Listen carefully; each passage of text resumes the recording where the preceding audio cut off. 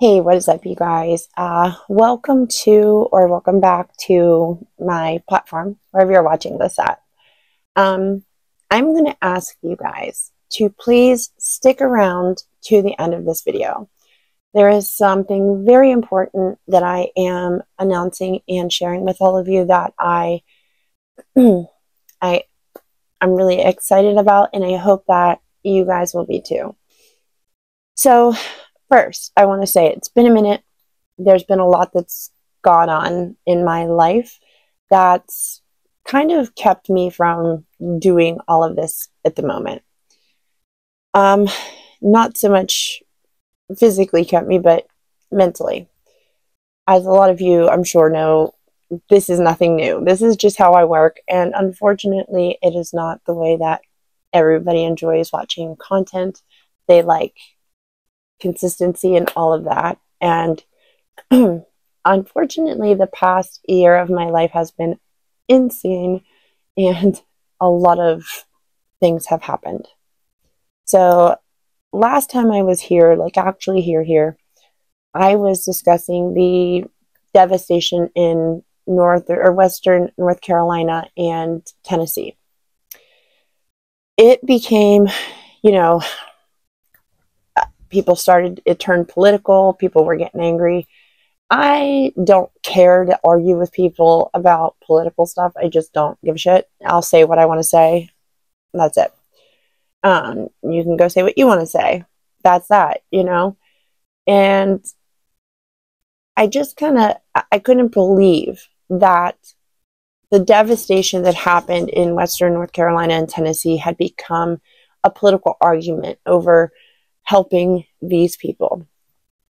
And it really made me angry. It made me very angry to see that so many people were just hell bent on trashing somebody who just wanted to help, who was saying facts about the situation, about, oh, they're getting $750. Oh, well, no, they're not.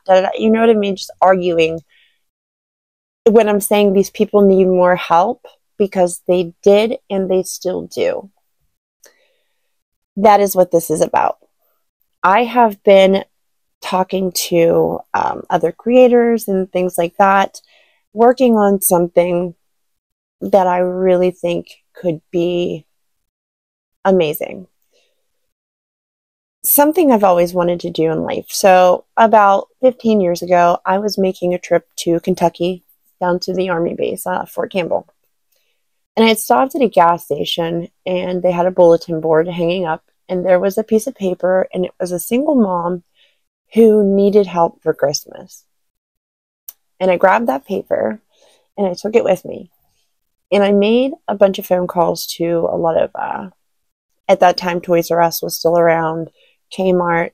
I contacted a bunch of these stores and explained the situation, told them I had this mom who needed help for Christmas she had this many children, da da da. And by the time I was done, I had collected an entire carload of presents for this family. I called up the number on the paper and I told her, "Hey, I you know, I found your paper. I was able to get you some help.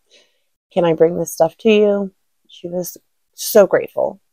So I went to her house and she came to the back of my car to get the stuff out of the trunk, thinking that it was just a few things.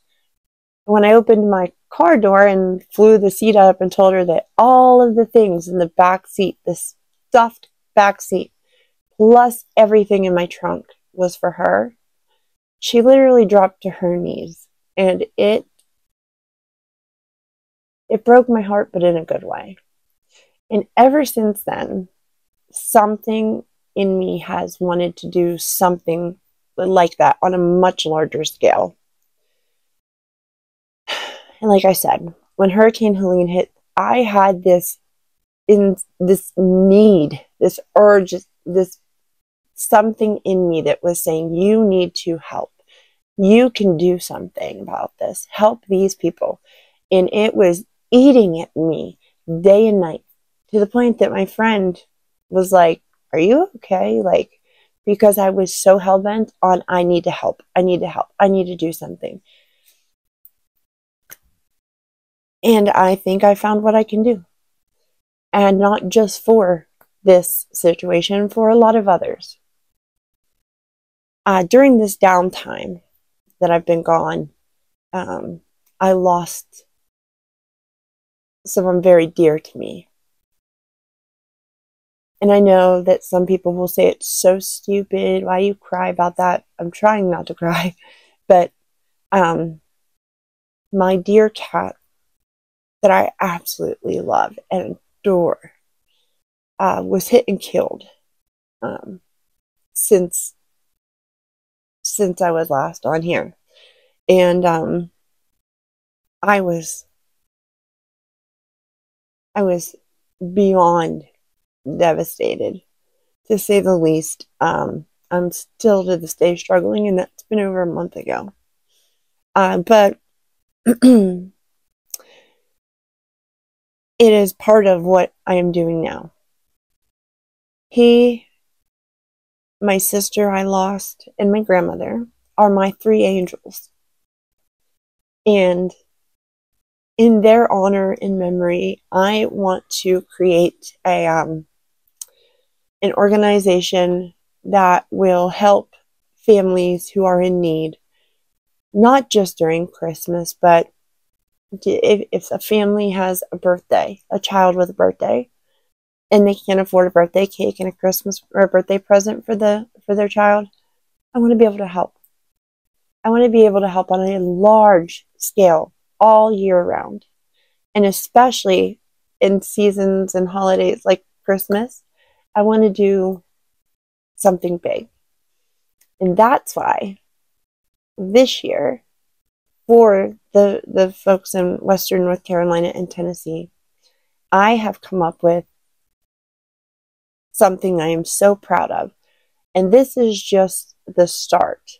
Um, from this, I want to grow the much bigger thing. I've been working, like I said, I've been speaking with um, other creators, and one specifically who has been working very hard in these areas. She's left her home and she goes in and boots on the ground, and they're helping them. They have an entire team of people who are there working day and night. I have decided to work with all of these people to, to do something, to do what I'm about to tell you. So, with that, I'm going to take a moment to share with all of you something incredibly close to my heart. My new project, Operation Elf Angels. This initiative was born from that deep desire to help the families and children of Western North Carolina and Tennessee who faced the most unimaginable loss in the wake of Hurricane Helene. Many of these families lost everything homes, belongings, but worst of all, the comfort of normalcy. Now, as the holiday season approaches, I want to step in and bring them some much needed hope and joy. The mission of Operation Elf Angels is simple yet powerful. We are raising funds to purchase gifts for these families and their children to make sure that they get to experience the magic of the season even in the midst of such hardship. Here's how it works volunteers, the volunteers that I was telling you about, many of them have been boots on the ground since the hurricane hit. They are going to be distributing the applications to the families in those hardest hit areas. Along with these applications, they are going to be filling out a wish list of items that they would love to receive this Christmas. My goal is to use your generous contributions as well as mine to fulfill as many of those wishes as possible. Then, the weekend before Christmas, I'm going to personally pack myself up head to North Carolina and Tennessee, where I'm going to be setting up distribution and personally deliver these bundles of gifts to these families that we are able to help. I cannot wait to see the excitement on the kids when they get to open presents in a time that they did not think they would get to. But this is about more than just gifts. It's about showing these families that they're not alone and we have their back in this journey. But I can't do this without all of your support. Every donation, big or small, is going to go directly to bringing holiday cheer to those who need it the most. Together, we can make a real difference for these families and remind them of the power of community and compassion. And let them know that we have their backs and we want to make sure that they also get to enjoy this holiday season. And I want to thank you all so much for believing in this mission. Let's make Christmas a season of love, hope, and giving. And let's make these families feel like somebody out here cares about them and that we see them. If you are interested in helping this initiative, I am going to post the GoFundMe link down below. We have set a high goal. Hopefully, we can meet that and get all of the families in this area something for Christmas so that they can have one day, one day out of this past six months, five months, four months, however long they have been struggling. Let's give them one day to at least sit back, try to relax, and see the smiles on their children's face. So check out that GoFundMe link down below. You can also email me if you are in that vicinity and would like to volunteer for either distribution of applications and helping get families lined up or distribution of the gifts the days that I will be down there handing them out. So, yeah, this is what I uh, this is what I've been working on and what I'm so excited about because this is going to be so much more than just one Christmas. I want to be able to do this for Christmases for years to come.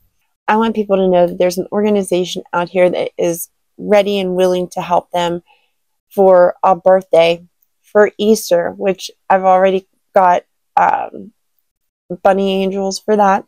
That will be Easter baskets that will go to children that are in need. We are going to have a lot of fun with this and helping people. And it is, I'm so excited. I cannot explain to you all how excited I am about this. Everything is already on, it's already the ball's rolling on it all. I've got everything lined up to start uh, the legal stuff, getting you know taxes, things like that. Um, a website is in the process of being built where you're going to see uh, families' stories. You're going to see um, the financials where you can everything's transparent. You'll get to see that. There's a lot that's going to be on this website. You'll get to hear the story behind where I come up with the name uh, My Three Angels, which is going to be the name of the organization. Operation um, Operation Elf Angels is the operation name, the mission name for this specific um, mission. But the organization itself is going to be called My Three Angels. Uh, that'll be on there. You will get to hear updates from me and others and volunteers. I plan to bring in as many people as I can to make this the best possible um, assistance platform that that people could ask for. That is my goal.